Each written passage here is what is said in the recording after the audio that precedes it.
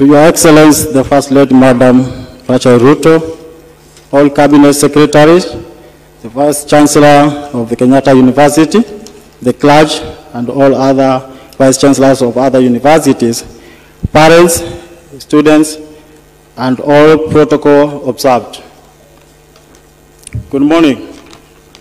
Uh, my name is William Solomon, and I'm here to read the tribute of Michael Muteti Mutuku. It's my cousin, and I will read the tribute of the family. But before I read the tribute, please allow me to say a few words before I read the tribute. Uh, I'm a student uh, of theology.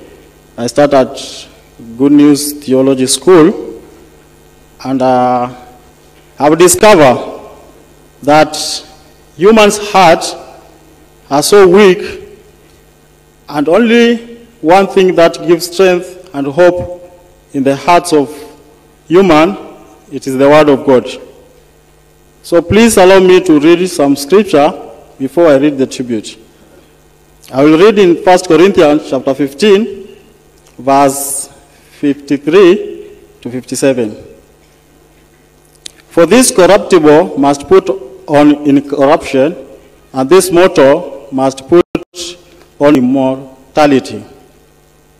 So when this corruptible shall have put on incorruption, and this mortal shall have put on immortality, then shall be brought to pass the saying that is written, Death is swallowed up in victory.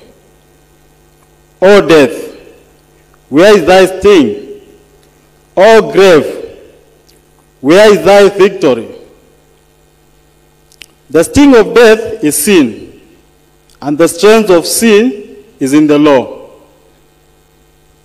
But thanks be to God, which giveth, giveth us the victory through our Lord Jesus Christ. So, the sting of death is sin. And the power of sin is in the law. So I discovered that we cannot overcome sin by ourselves, but only through the Word of God. If we cannot believe the fact that Jesus has redeemed us internally through the Rest easy, eh, my daughter, our friend, till we meet again. We love you so much, and we will forever hold you dear, always in our hearts. Mom, Dad, and Brother Jason, thank you.